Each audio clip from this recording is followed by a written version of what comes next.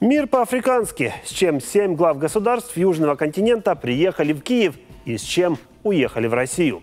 Зачем африканские страны решили пополнить ряды клуба миротворцев и будет ли это иметь успех?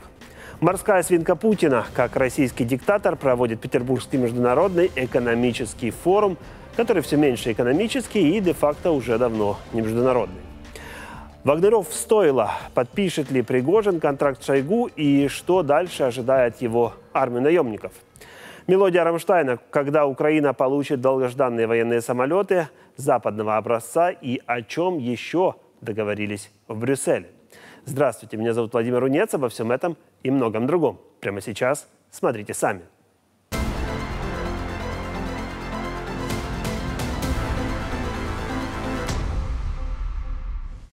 Прошлая неделя выдалась богатой событиями в мире. Но самое главное, она так же, как и предыдущая, в Украине прошла под двой сирен воздушной тревоги. Если ничего не изменилось, сирены орали и на позапрошлой неделе, и в течение всего мая, то зачем я вам об этом говорю? В чем же новость? А новость в том, что в этот раз сирены российские ракеты встречали делегацию глав дружественных России африканских стран. Египет, ЮАР, Сенегал, Замбия, Конго, Уганда и Коморы.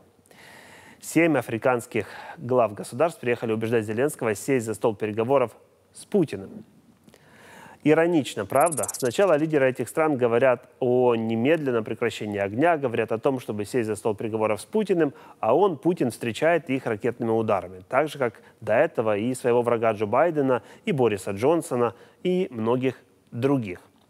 Правда, ирония еще и в том, что в то время, как одна из российских ракет разрушила дома и ранила нескольких жителей пригорода Киева, помощник э, Сирила Рамафосы, президента ЮАР, успел написать в соцсетях, что они, мол, ни сирен, ни выстрелов не слышали. Хотя позже сам Рамафоса признался, что что-то все-таки слышал. Надо же, слух обрел. Today, as we were here, we Сегодня во время нашего визита мы слышали ракетные удары. Такая деятельность не очень хорошо работает для установления мира, поэтому мы говорим о необходимости деэскалации с обеих сторон, чтобы мир нашел способ прийти и урегулировать ситуацию. Рамафоса в этом визите явно тянул одеяло на себя. Среди семи посетивших Киев африканских лидеров он больше всех выделялся неоднозначными заявлениями и предположениями. На совместной пресс-конференции с Владимиром Зеленским он озвучил 10 пунктов африканской мирной инициативы. Итак, что же там находится? Мир должен быть достигнут только дипломатическим путем, считает африканский президент. Ну, тут и не поспоришь. Мир – это всегда плод дипломатии. Другое дело, что этой дипломатии предшествует. Ни разу в истории конфликтов их заморозка не решала проблему, а только откладывала во времени. Второй пункт назван модным словом деэскалация. Рамафоса под этим подразумевает, что обе армии должны перестать стрелять. Выглядит абсурдно, ведь иностранной армии априори не должно быть на чужой территории а право обороняться гарантировано уставом ООН, к которому часто и апеллируют и Россия, и африканцы. Уважать суверенитет в соответствии с тем самым уставом ООН, а это, кстати, следующий пункт мирного плана Ромафосы. Звучит красиво, только по факту Россия чихать хотела на устав ООН, когда вторглась на территорию Украины 9 лет назад. Как этого добиться, Ромафоса не уточняет, понятное дело – гарантии безопасности. Это то, с чем Украина и Россия пытались сесть за стол переговоров в самом начале полномасштабки. С одной стороны, Киев дает гарантии не вступления в НАТО, а с другой, ну, а с другой непонятно что, ведь Будапештский меморандум уже подписывали. А толку? Экспорт зерна и удобрений в Африку. Это важный пункт, к нему я еще вернусь. Дело в том, что африканцам очень не хватает украинского зерна, ну и российских удобрений. Киев не может нормально экспортировать свои зерновые в нуждающиеся страны из-за войны, которую развязала Россия, ну а сама Россия не может экспортировать удобрения из-за санкций, которые ввели из-за нападения на Украину. Змея, которая кусает сама себя за хвост. Гуманитарная помощь – пункт обязательный для любой мирной инициативы. Без него ни один мирный план серьезно воспринимать никто не будет.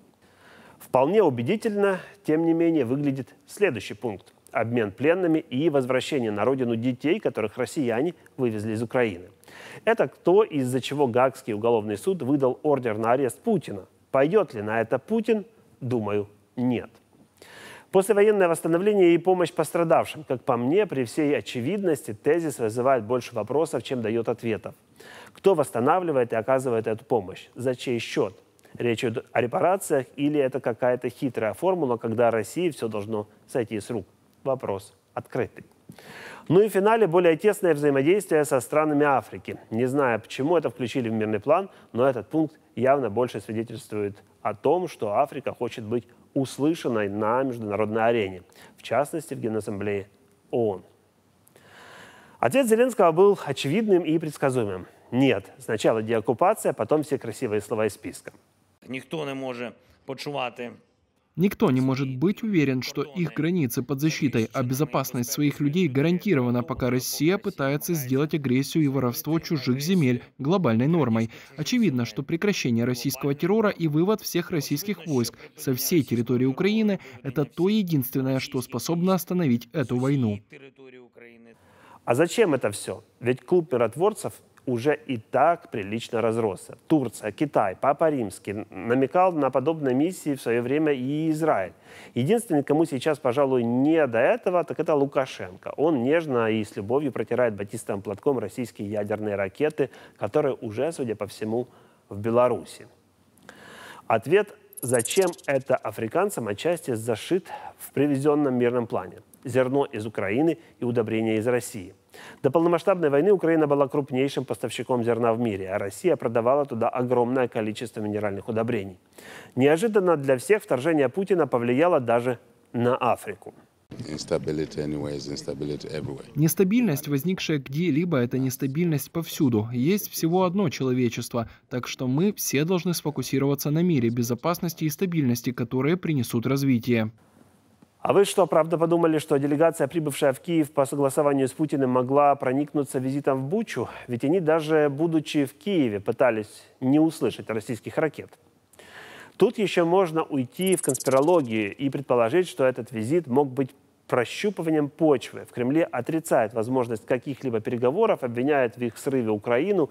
Ничего, собственно, нового. Но мы ведь понимаем, что все давно уже пошло не по плану. вероятность того, что окружение Путина ищет неочевидные пути выхода из кризиса, все же есть. Между прочим, сама по себе делегация африканских лидеров весьма интересна. Смотрите сами. Южная Африка и Уганда – страны из российской орбиты. Замбия и Коморы, наоборот, ближе к Западу по деньгам и духу. Египет и Сенегал, а также Конго демонстративно нейтральны. Такая себе делегация баланса сил. Тут еще вот какая штука. Южная Африка сейчас под пристальным оком Вашингтона. После скандала, который разгорелся в мае, когда американский посол в ЮАР обвинил страну в том, что она тайно поставляет оружие Москве. По его информации, в декабре российское судно загрузили оружием и боеприпасами на военной базе Саймонстаун. Непонятно, правда, груз предназначался для Министерства обороны России или для армии Пригожина, которая испытывала снарядный голод. Пригожин в Африке известная личность, но предположений делать не будем. В любом случае, власти ЮАР все отрицают. Южноафриканское правительство заявило, что запускает независимое расследование. Для этого привлекли ушедшего на пенсию местного судью, который и должен во всем разобраться. Такое вот африканское своеобразное понимание независимого расследования. Ну и не стоит забывать о том, что ЮАР не побрезговала принять участие в военных учениях вместе с Китаем и Россией, которые совпали по времени в аккурат с годовщиной полномасштабного вторжения российских войск на территорию Украины. Ну и да, международный саммит БРИКС, который пройдет в Кейптауне в августе этого года, куда Путин не сможет поехать из-за того самого ордера на арест. Может, Рамафоса надеялся, что если Путин вернет украинских детей назад Украине, то обвинения с него снимут и он таки сможет приехать к нему в гости. Ведь выйти из римского договора у Рамафоса не получилось. Его администрации пришлось даже оправдываться, что, мол, их шефа неправильно поняли, когда он об этом пафосно объявил. Хочешь мира, готовься к войне. Очевидно, этим руководствовалась делегация Рамафоса, когда ехала в Украину с мирными инициативами. Иначе объяснить, зачем его охрана взяла с собой 12 контейнеров с оружием и снаряжением, я лично не могу – кстати, из-за этого его визит вообще оказался под угрозой. Правительственный борт Рамафоса приземлился сначала в аэропорту Варшавы, а оттуда должен был полететь дальше, в Жешов, откуда президент ЮАР должен был э, весело поездом добраться до Киева. Но незарегистрированное оружие, амуниция и 120 непонятных людей, которых не указали ни в каких документах, вызвали немало вопросов у польских пограничников. Те в итоге не разрешили президентской охране и полужурналистов лететь в Жешув. Вот такая вот получилась миротворческая делегация. Ну и в завершение блока еще одна неочевидная причина, почему России выгодно, чтобы клуб миротворцев растет не по дням, а по часам. Дело в том, что все эти так называемые миролюбивые предлагают очевидно абсурдные сценарии мира, которые для Украины будут означать капитуляцию в войне. Такое количество этих сценариев от разных стран позволит Путину создать впечатление, что мнение мира по поводу полномасштабного вторжения в Украину постепенно меняется. Информационная манипуляция, которую Кремль пытается осуществить путем подкупа одних дешевыми энергоносителями и запугивания других голодом и дефицитом хлеба. В итоге, не солоно хлебавшая, делегация лидеров африканских стран уехала из Киева в Россию. Зачем? Этого не понял ни Владимир Зеленский, к которому они приезжали, ни политические обозреватели, и мне, если честно, тоже непонятно.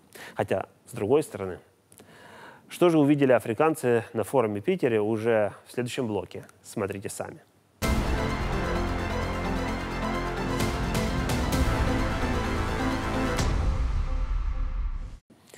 Морская свинка давно уже стала воплощением парадокса, потому что ни к свиньям, ни к морю этот грызун ровным счетом никакого отношения не имеет. Так и Петербургский международный экономический форум уже окончательно превратился в морскую свинку Путина. Не экономический и точно не международный.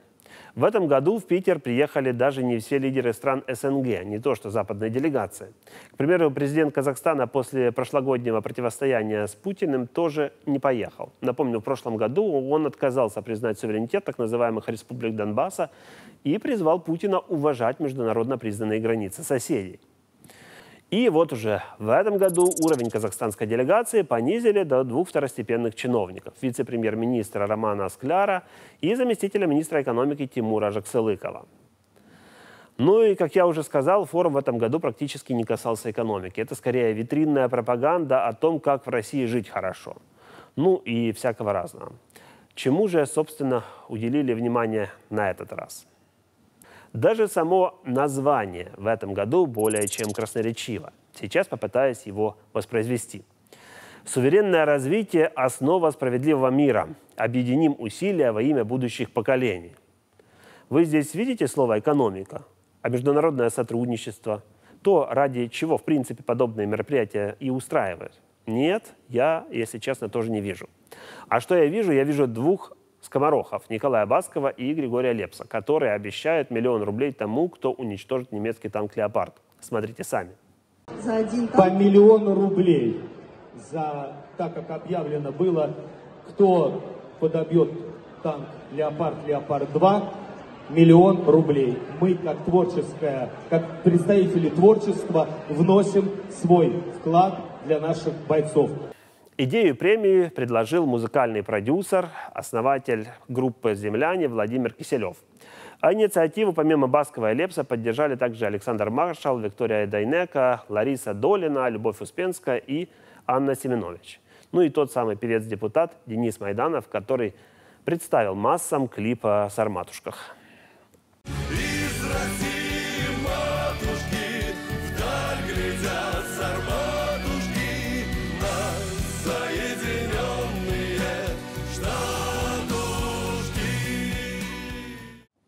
На Соединенные Штатушки они, конечно же, не полетят, потому что если за полтора года полномасштабки не полетели, то уже чего тогда и начинать.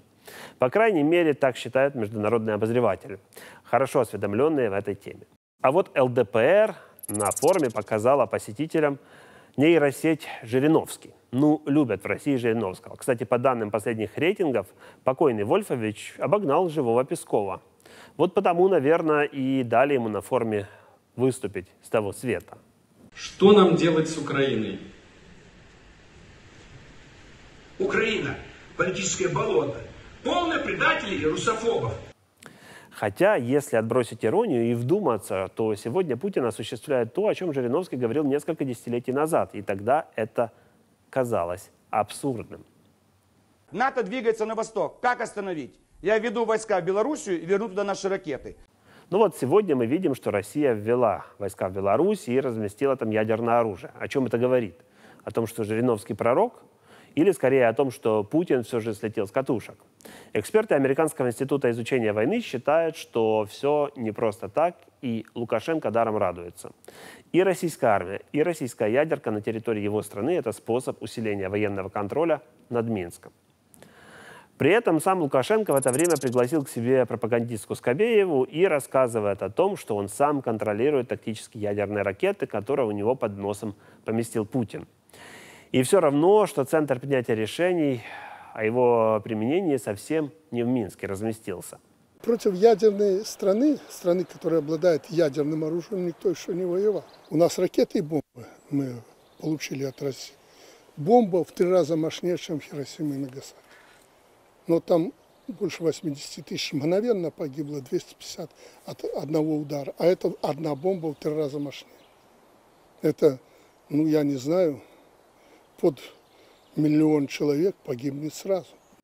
Но вернемся к форуму. Когда я за ним наблюдал, кроме образа морской свинки, мне в голову еще пришел образ ярмарки абсурда, где все расставлено, чтобы пускать пыль в глаза, но даже эта задача оказалась не по зубам.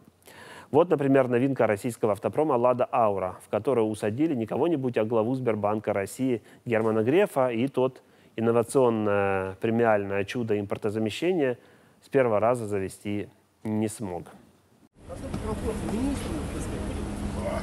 Проехать за пассажиром на этой машине.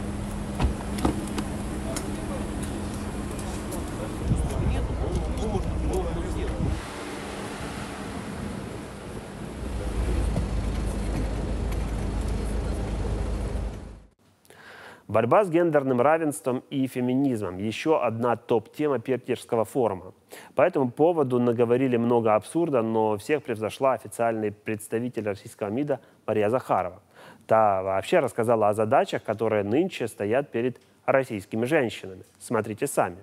Сейчас полный рост перед нами, перед женщинами стоит задача сохранения э, рода человеческого не в плане размножения, Тут уже альтернативные пути нам придумали, как можно размножаться.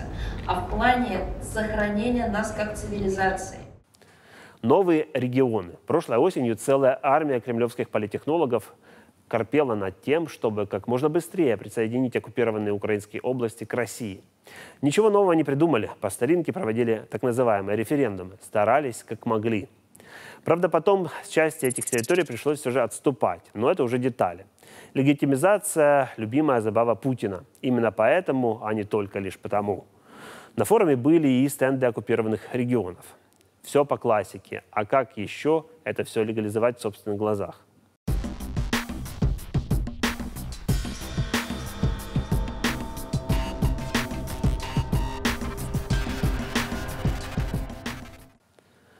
Выдуманные республики Донбасса, разграбленные Запорожская и Херсонская области – символы новой экономики России.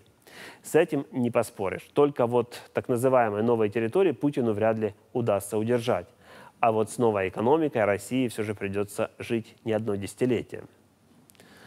З. Забота о собственных гражданах. Путин из шкуры вон лезет, чтобы показать плебеям, что он добрый царь восстановить, оплатить, перекрасить, отремонтировать. Он щедро нарезает задачи министрам на заседаниях правительства. Да только вот на практике на практике цифры говорят сами за себя. Кроме оккупированных украинских регионов, на форуме представлены стенды и собственных, российских. Вот Белгородская область, к примеру. В порыве показать, как у них все хорошо, истратила на стенд на форуме вдвое больше бюджетных денег, чем на компенсации собственным жителям за разрушенные войной дома. Стенд обошелся в 11 миллионов рублей, а белгородцам в общей сложности выплатили чуть менее 6,5. А вот жителям сгоревших, разбомбленных и разрушенных домов в Шебекинском районе достанется на всех один всего лишь миллион. А вот когда в Шебекино было громко и нужно было вывести детей, эвакуации проводили только за деньги их родителей по 3000 за ребенка. Ну ничего, зато стенд красивый, чтобы перед миром не опозориться. Ой, ну а мир же туда не приехал. Ну ничего, зато, наверное, перед собой не стыдно. Практически в каждой программе я вам говорю о том, что с жизнью в России далеко не все, слава богу. И каждый раз думаю, что все. Больше на эту тему сказать нечего.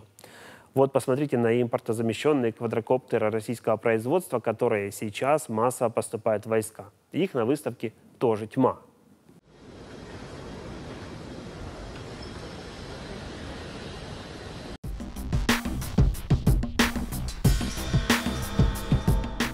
Да, вы, наверное, уже догадались, что импортозамещенные российские дроны на деле оказались дешевыми птичками китайского онлайн-маркета AliExpress.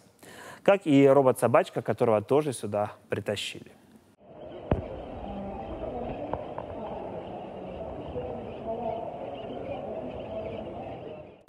Все было бы просто предельно скучно. Очередная попытка построить Потемкинской деревне непонятно для кого – Внешняя аудитория на это не купится, а вот внутренняя вполне может быть. Ну или нет.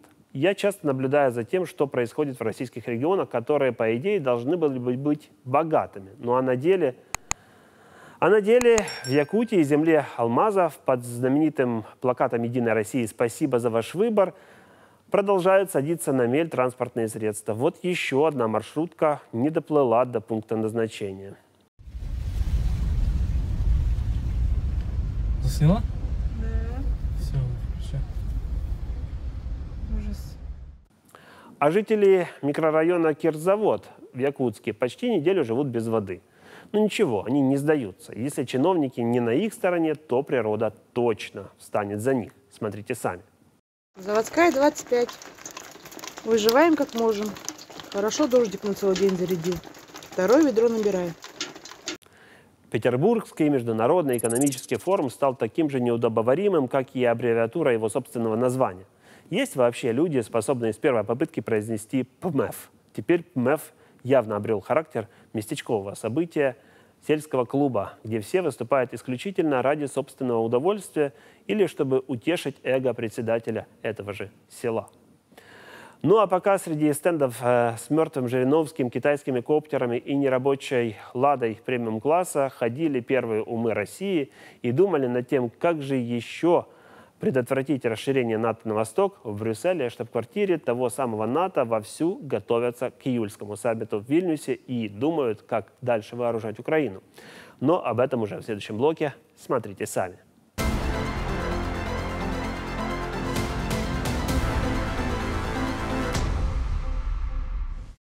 Итак, Брюссель – столица Евросоюза и дом для блока НАТО. Сюда на очередную встречу приехали министры обороны стран-членов военного блока и министр обороны Украины Алексей Резников. В одном месте произошли сразу два знаковых по их результатам события, тесно переплетенных между собой. Собственно, встреча министров обороны – это сверка часов и подготовительная работа перед саммитом, который пройдет в Вильнюсе в середине июля. Но почему же так важна эта подготовительная встреча? Да потому что именно на ней происходит все самое интересное. На самом саммите лишь объявят уже о готовых решениях и финализируют последние штрихи, так сказать. Перед тем, как главы государств могут пожать друг другу руки, идут многие месяцы кропотливой работы. Что же произошло в Брюсселе? Украина рассчитывает в Вильнюсе получить документ, который называется ПДЧ, то есть план действий по членству в военном политическом союзе. Грубо говоря, тезис про открытые двери уже давненько устарел. Ведь зачастую открытые двери элитных клубов надежно охраняют, и войти в них ой как непросто. Так вот, получит или не получит Украина тот самый ПДЧ? Вопрос, который волнует всех без исключения. И Зеленского, и даже Путина. От этого многое зависит. Как показала практика, пока НАТО может быть единственной гарантией безопасности для Украины, тогда как все альтернативные форматы вызывают споры и вопросы. Все решения в НАТО принимаются только единогласно. И несмотря на принципиальное единство блоков в ключевых вопросах, там есть так называемые скептики, которые хотели бы, чтобы Украина не переступала порога той самой открытой двери. Пророссийская Венгрия – яркий пример.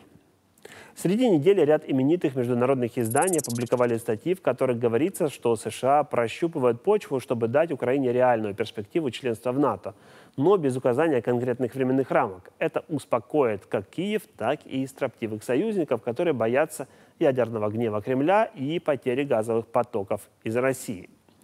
Генсек НАТО Йенс Столтенберг встречался с американским президентом и, поговаривают, предложил ему вариант упрощенной процедуры принятия Украины в лавы НАТО без формальностей, обязательных для других стран. Таким образом, можно будет облегчить тернистый путь Киева к коллективной безопасности.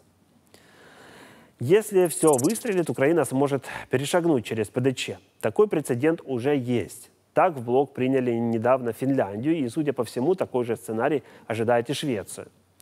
А кто же, кроме Венгрии, побаивается членства Украины в НАТО? Раньше определенные опасения высказывали и Соединенные Штаты. А теперь вот такое смещение центра тяжести. Хоть напрямую об этом никто не говорит, но и Германия, и Франция тоже явно осторожничают. Что ж мы за соседи, если мы не поможем Украине выжить? Это знаменитая фраза, которую генсек НАТО Столтенберг сказал после открытого вторжения российских войск на территорию Украины, и с тех пор он один из самых рьяных адвокатов Украины в плане евроатлантической перспективы. Теперь еще одна задача. Столтенберг занимает должность генсека с 2014 года и как никто владеет российским вопросом. Бывший премьер-министр Норвегии, он должен был бы закончить свою каденцию уже этой осенью. Но сейчас союзники думают, как еще продлить его срок хоть на один год. Хотя у самого Столтенберга карьерного кризиса нет, его уже давно ждет другая, не менее престижная должность. Если Столтенберг останется, то на саммите в Вашингтоне в следующем году он отпразднует свою десятую годовщину в кресле генсека. Ну и еще один аргумент в пользу того, чтобы он не менял работу сейчас. Незавершенный процесс вступления Швеции э, и в Вашингтоне считают, что Столтенберг отличный дипломат, который справится с этой задачей. Хотя нужно понимать, что страны Балтии и Польша, к примеру, которым Россия неоднократно непрямолинейно угрожала, предпочли бы видеть в этом кресле своего кандидата. Мол, он точно будет лучше понимать контекст. Хотя южные страны НАТО тоже хотели бы включиться в игру. Мол, почему всегда Северная Европа? Как бы там ни было, внутри блока кипит бурная политическая жизнь. Но при этом, учитывая огромный военный вклад США – в НАТО, к слову, Вашингтона всегда прислушиваются. Дипломаты высокого ранга поговаривают, что Столтенберг якобы и не против остаться. Об этом пишет Вашингтон-Пост. Если Байден сделает ему публичное предложение заранее, чтобы оно не затмило Вильнюсский саммит. В любом случае, именно он все и покажет. Ну и традиционно на встречу министров обороны в Брюсселе совместили с очередной встречей в формате «Рамштайн». Это американская инициатива, которая помогла создать коалицию из западных стран, которые помогают Украине оружием. Фишка Рамштайна в том, что он намного шире, чем ЕС и НАТО. В Евросоюзе 27 стран, в НАТО уже почти 32. А в формате Рамштайн принимает участие более 50, то есть почти в два раза больше. Главной новостью прошедшего Рамштайна, конечно же, стало то, что Украина смогла продавить и договориться о создании коалиции птичек для своих вооруженных сил. Теперь неформальное объединение стран будет заниматься поиском самолетов для ВСУ и обучением украинских пилотов. Пока публично объявили о том, что Киеву передадут F-16, хотя не исключено, что и другие модели военных самолетов тоже пополнят украинский авиафлот. Пока неизвестно, какие страны и сколько истребителей планируют передать Украине. Но обучение пилотов – ключевой шаг к тому, чтобы эта передача состоялась. Западные самолеты, очевидно, не смогут использовать в нынешней наступательной операции сил обороны, поскольку в Украине они окажутся ну, не раньше, чем через несколько месяцев. И еще одно важное событие. В этот раз впервые состоялось заседание комиссии Украина-НАТО. А ведь с 2017 года работу этого ключевого органа блокировала Венгрия. Очевидно, комиссия Украина-НАТО заседала при этом в последний раз. Ведь теперь коммуникация между Киевом и военным блоком переходит в новый формат. И это также будет одним из решений, объявленных в Вильнюсе. Первые подробности птичьей коалиции раскрыл украинский министр обороны Алексей Резников. Чиновник объяснил, что коалицию будут возглавлять Дания и Нидерланды. Ведь они как раз и ожидают поставок более современных э, многоцелевых бортов пятого поколения F-35. Все официальные подробности птичьей коалиции пока держат под замком. Никто еще в ней будет участвовать, ни количество самолетов, ни сколько пилотов будут обучаться летать на западных самолетах, пока никто не рассказывает. Но самолеты – это еще вопрос месяцев, а война и масштабное наступление сил обороны в полном разгаре уже сейчас. В Москве злорадствуют, что смогли подбить несколько леопардов, часть из которых оказалась сельскохозяйственной техникой, а часть действительно немецкими бронемашинами. Техника это не на выставке. Она участвует в боевых действиях. В наступательных операциях, увы, техника приходит в негодность, иногда ее вовсе уничтожают, даже если это самая лучшая техника в мире. Это ни для кого не новость. Поэтому еще один важный аспект, который обсудили на этом Рамштайне, это ремонт танков и бронетехники. Сейчас Польша и Германия совместно работают над созданием хаба, где будут обслуживаться танки «Леопард», и в этот раз в Брюсселе они сообщили союзникам, как именно этот хаб будет работать. А еще украинский танковый арсенал пополнится новыми «Леопардами». О передаче четырех кошек второго поколения сообщила Испания, а к ним – Мадрид передаст Киеву еще 20 гусеничных бронемашин, которые вот-вот уже прибудут в Польшу, а оттуда сразу в Украину. И тут можно было бы поставить в этом блоке точку, но я пока поставлю запятую, ведь Россия не прекращает ракетные удары по всей территории Украины, и небо нужно держать на замке.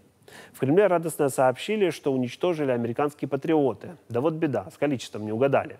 Ну, послушайте, вот если мы под Киевом уничтожили пять комплексов «Патриот», то что нам стоит э, уничтожить любое здание и сооружение в центре Киева?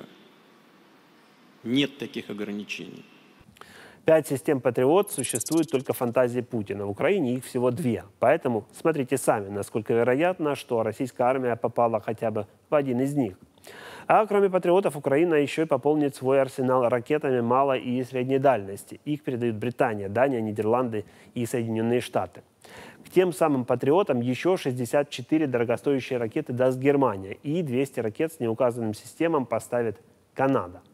Подарок темной коробки преподнесет и Италия. Правительство страны огласило, что уже готов новый пакет военной помощи, но что в него входит, пока держит в тайне. Ну и, конечно же, наступательная операция в центре внимания. Западным партнерам важно понимать, что все оружие используется эффективно и приносит результат. Они неоднократно говорили о том, что успехи на поле боя гарантируют успехи за столом переговоров. Кремль хоть и пытается показать, что контрнаступление сил обороны продвигается плохо, но независимые эксперты и западной разведки говорят о совершенно противоположных результатах. Да, не без сложностей, увы, не без потерь. Но сотни квадратных километров украинской территории возвращаются под ее контроль. Uh, Россия показала нам одни и те же пять единиц техники тысячу раз с десяти разных ракурсов. Но, откровенно говоря, у украинцев еще очень много военной техники. Да, как мы и предполагали, это будет тяжелая битва. Наша позиция в том, чтобы и дальше предоставлять Украине все необходимое для военного успеха. Между прочим, об успехах украинского наступления говорит и главарь армии пророссийских наемников Евгений Пригожин, который, похоже, уже даже Путину не мил. Но об этом уже в следующем блоке смотрите сами.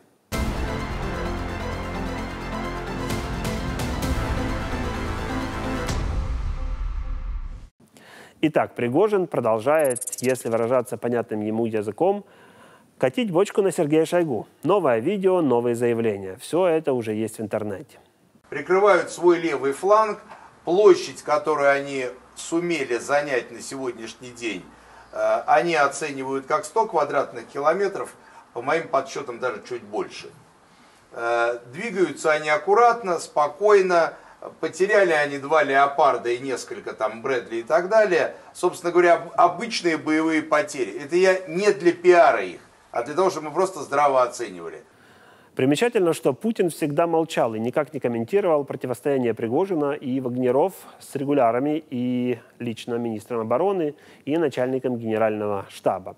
И вот Шойгу заявляет, что все наемники должны стройными рядами идти в куда менее стройные ряды вооруженных сил России. Ответ Пригожина никого не удивил. Те приказы и указы, которые формирует Шойгу, они распространяются на сотрудников Министерства обороны и на военнослужащих. ЧВК «Вагнер» не будет подписывать никаких контрактов с Шойгу. Но тут свое слово все же сказал российский президент. Обратите внимание, риторика мягкая, нет ни намека на критику. Путин под соусом отеческой заботы говорит о том, что время нелегалов на фронте закончилось. Все привести в соответствие со здравым смыслом, со сложившейся практикой и законом. Мы, безусловно, не должны ставить людей в какое-то ложное положение. Неужели Путин стал на сторону Шойгу? С одной стороны, это было бы логично. Президент должен был бы поддерживать свое военное руководство. Ну а с другой, слишком просто и опрометчиво. Ведь цели так называемой спецоперации до сих пор не выполнены. Хотя кто знает, какие именно цели преследует Путин. Мы будем стремиться к демилитаризации и денацификации Украины. Украинцы сами свободно могли бы определить свое будущее. Главное для нас – защитить Российскую Федерацию от военной угрозы, создаваемой странами Запада – чтобы никакая антироссия, годами создаваемая Западом прямо у наших границ, нам не угрожала. Именно избавить людей от этих страданий, от этого геноцида является основной, главной причиной, побудительным мотивом и целью военной операции, которую мы начали на Донбассе и на Украине. Ну и что теперь? Где же та путинская вертикаль власти? Но если вы внимательно присмотритесь к тому, как поступает Путин со строптивыми, то он никогда не вступает в открытую конфронтацию. Они просто постепенно исчезают из широкого поля зрения. Иногда исчезают, правда, физически. Ну а с другой стороны, если Пригожин окажется прав, и Путину придется на кого-то повесить военный провал в Украине – так будет даже удобнее, ведь Пригожин на самого ВВП никогда в открытую не напирал. Даже когда сказал, что его боевики подписывать контракт с Минобороны не будут. Пригожин сделан это максимально корректно. Ну а ближе к концу недели Пригожин снова идет, нет, не в банк Он лично, ногами, с удостоверением Героя России идет в Министерство обороны, чтобы передать Шойгу свой собственный контракт о вступлении ЧВК «Вагнер» в вооруженные силы – но на его пригожинских условиях. Здравствуйте. Я могу письмо передать?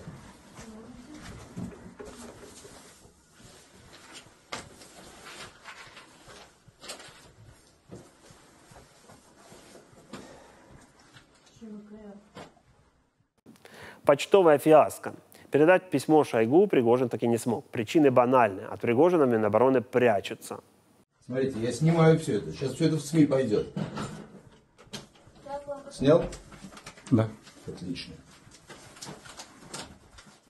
Как же так получается? С одной стороны, вроде бы Минобороны – это обычное ведомство, куда теоретически каждый может принести письмо или какие-то документы, зарегистрировать и передать соответствующие чиновничьи руки.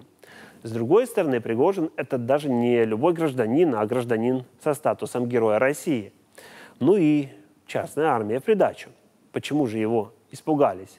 Вы уж смотрите сами.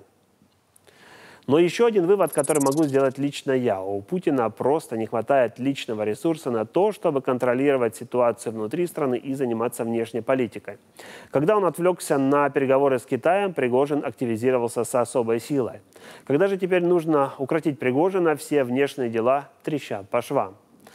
Да и, как оказалось, Путин слабо в внешней политике. Если у себя в России он может запугать и остановить, то такое же поведение на внешней арене, как мы видим, вызывает абсолютно обратный результат.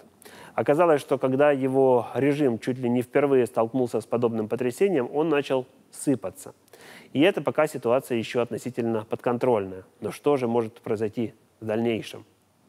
А что же тогда получается? А получается, что перспектива Владимира Владимировича такая себе. Спецоперация точно не закончится ничем для него хорошим. Велика вероятность того, что границы до 24 февраля будут для него максимальной победой. А сколько вообще может длиться эта война, которую сам Путин, кстати, называет время от времени войной? Мне на глаза попались интересные данные. Исследования Центра стратегических международных исследований, используя данные с 1946 по 2021 год, собранные Упсальским университетом, показало, что 26% межгосударственных войн заканчиваются менее чем через месяц.